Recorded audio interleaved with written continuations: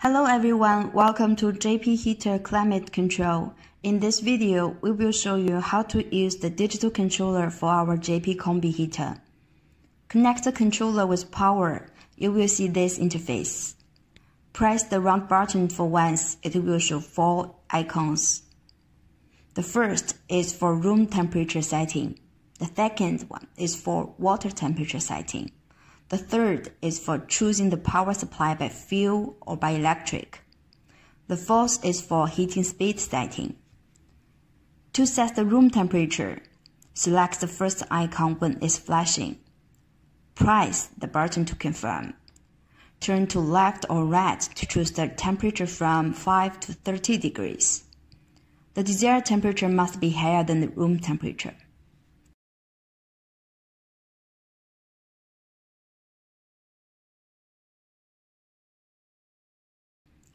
To set the water temperature, select the second icon and press the button to confirm.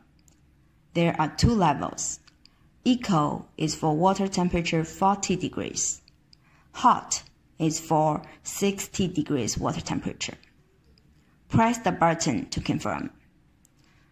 To set the power supply by fuel or electric, choose the gas bottle. Confirm by press the button.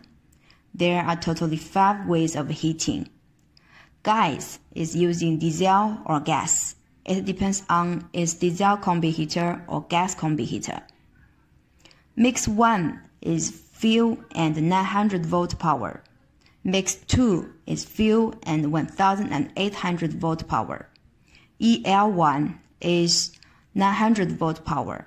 EL2 is 1800 volt power. Select the power supply to confirm by press the button.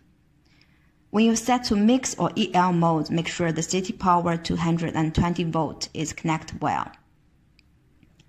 The fourth icon is for ventilation and setting for the heating speed of room temperature.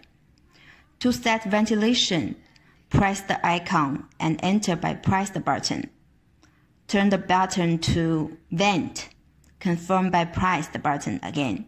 You can set the speed from 1 to 10.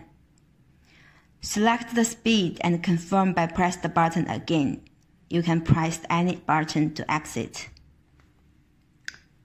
To set the heating speed for room temperature, you need firstly to set the room temperature by press the first icon, select the desired temperature, then exit, and then Click the fourth icon and you can select the heating speed, totally four levels. Eco, low, high, burst, from low to high. After all the settings are done in about 10 seconds, the heater will start to work. Or you can press the left button to let the heater start sooner.